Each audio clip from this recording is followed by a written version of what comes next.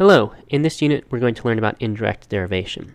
So far we have two derivation methods in our system. We have direct derivation, and then we added conditional derivation and assumption for conditional derivation.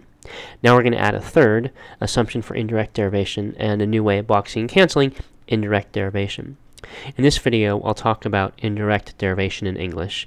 In the next video, I'll explain how indirect derivation works in the formal system, and then in the last videos, I'll talk about strategy with indirect derivation and do some examples in the system. So let's get started. So here's an, a valid argument. If I have a cookie, I will be happy. If I don't have a cookie, I will be happy. So, I will be happy. Looks like a good argument. It is a good argument. Suppose you wanted to prove that it was a good argument. How might you do so? Well, here's how you might. You might say, suppose I won't be happy. Well, that means, given the first premise, I don't have a cookie. But it also means, given the pr second premise, I do have a cookie. Those are both modus tollens. Well, that's a contradiction. I have a cookie and I don't have a cookie. That's a claim and the denial of that claim, and that's a contradiction. And that means the supposition that we started with, I won't be happy, that supposition is false, and that means I will be happy, and that's the conclusion, and so we've shown that the argument is valid. And that's an indirect derivation in English. So one thing to note is, just to be clear, what do we mean by contradiction? So a contradiction is two sentences, one of which is the negation of the other. So, for example, John is tall and John is not tall. Or, if John is happy, then John is tall, and it is not the case that, if John is happy, then John is tall.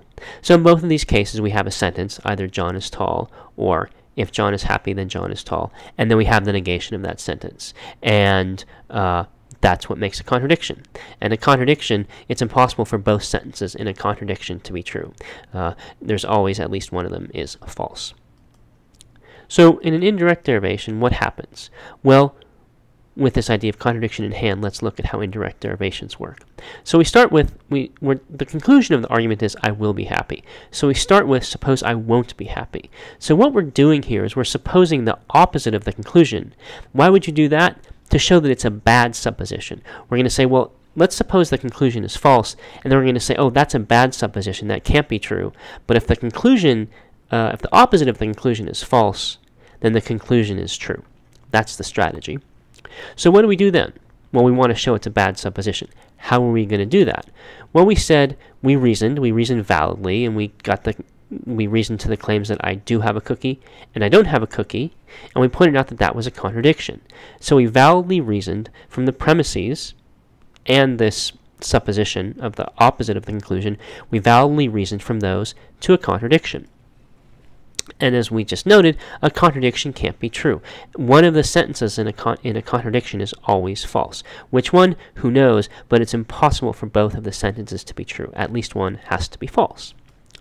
Well, what does that mean? It means so we, we reasoned to a contradiction, and we know the contradiction can't be true, but our reasoning was valid, and that means that our starting point also can't be true. There's got to be something in our starting point that's false.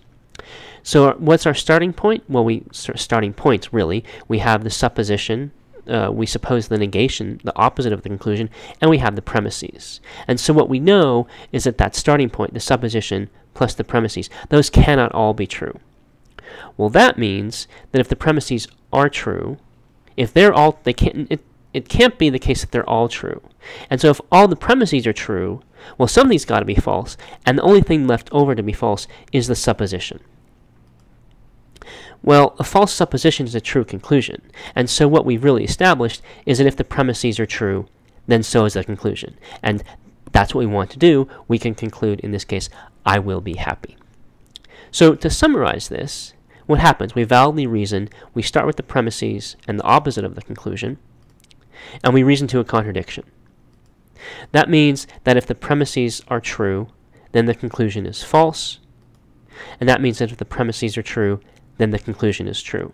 And that's what we want to establish when we're uh, it, that's when we're trying to val reason validly. That's our goal, and that's why indirect derivation works.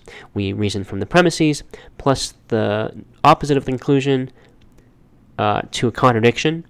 That tells us that the group of claims, the premises plus the negation of the conclusion can't all be true.